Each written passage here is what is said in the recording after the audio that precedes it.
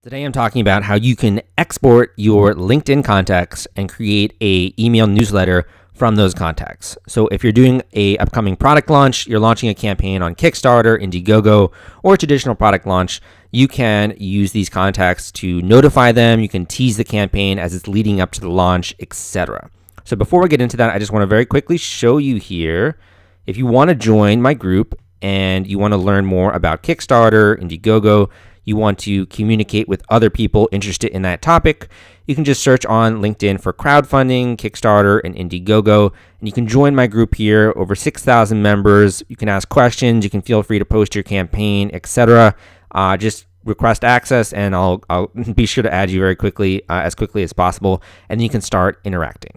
Okay, let's get to this training video. So the first thing you're going to do is you're going to go to My Network, and you're going to hit Connections and this is going to have a list of your different connections, etc. These are my connections. LinkedIn is really powerful because you can connect with people who understand what you do business wise or understand what your goals are. They have a feel for your personality if you met them in person. Maybe it's a virtual relationship online. I have people who add me to their LinkedIn network after having watched one of my videos, after having read a blog article, etc. So people already have some sense as to who I am, what I'm about, what my values are, etc. So that's why it's a really powerful tool. Okay, so you're going to go to settings here on the right, this little icon. After we get here, you're going to have some uh, sort of some options here. If you want to expand your LinkedIn connections, you can import people from Gmail, etc. But we're exporting today. So we want to go here to this little right hand corner, advanced settings, and we're going to hit export your LinkedIn connections. And we'll get a bunch of different options here from this menu. So CSV files, Yahoo Mail, Mac OS address book, etc. Just going to do CSV file and we're going to export that. Okay, we just got this. Your connections were successfully exported. Sweet. Okay, so the next step of this process is you want to import these connections into some kind of an email marketing software tool. And the reason we want to do that is we want to see when we send out a blast email to all of these contacts, how many people open that email, how many people click the links that we include in that email, what are the conversion rates like, what is the engagement for our email list. And also, if we're teasing a campaign, you know, sending out an email two weeks before we launch, at least getting an idea of some of the responses we're getting, uh, etc., is going to be really helpful. So I recommend going with Mailchimp. So this is my Mailchimp account. The reason I recommend MailChimp, there are a lot of different software tools out there.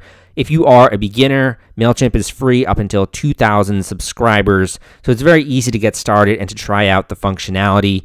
I got started on MailChimp. Uh, it's a little bit of a learning curve, you know, obviously learning any kind of new software tool, but it is relatively straightforward and there's a thriving community. So if you have any questions, you can always Google a question.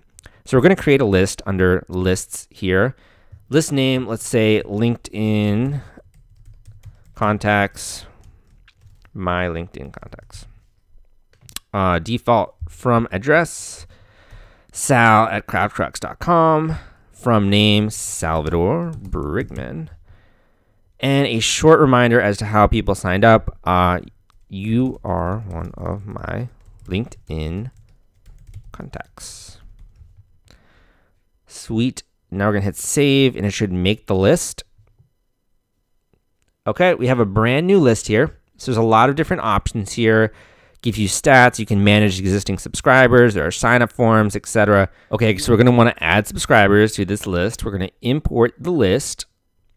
Uh, CSV file. We have a CSV file that was exported via LinkedIn.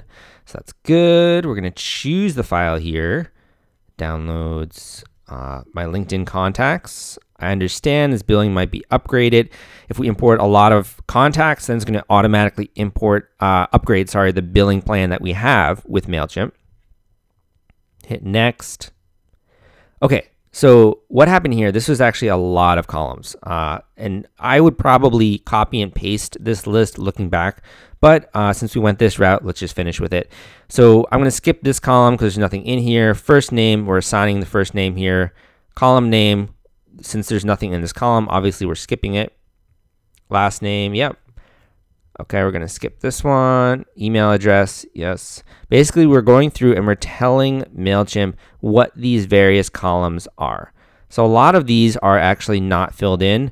So what I could have done ahead of time is I could have gone in the CSV file and I could have deleted all of these different columns. So I wouldn't have to go through, you know, 37, 36. wouldn't have to go through all these. It would save me a lot of time. But if you had different things like this has the company, you know, Razoo, Center for New National Security, I could include those if I wanted to to have a more comprehensive list. But I just right now care about and I have like the job titles, etc. I could even segment the list based on some of these different variables. Right now, I'm just doing the name and email. And that's how I'm going to do. So we're going to be skipping all of these basically. Um, 15, 14, 13.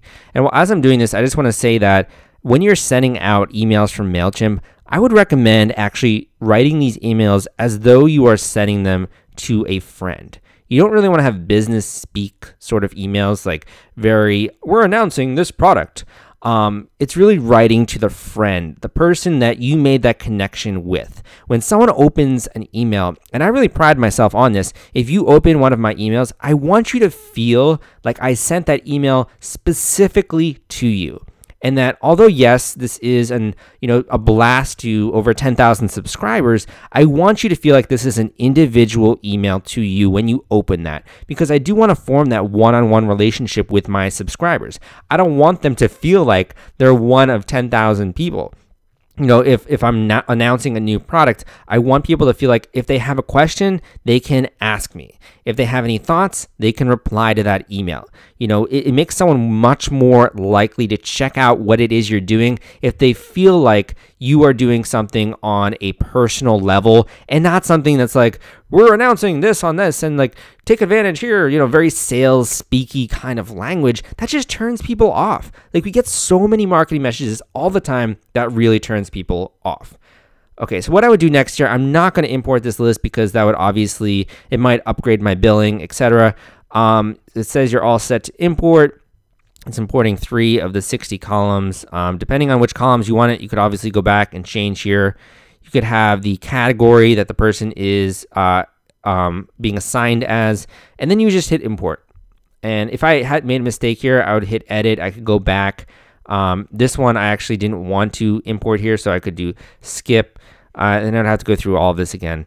But this sort of gives you an idea of how easy it is to simply export your LinkedIn contacts to a CSV file. Just go to uh, connections and you'll have that there to then start sending marketing messages. And you literally saw this is like what a seven minute video or so.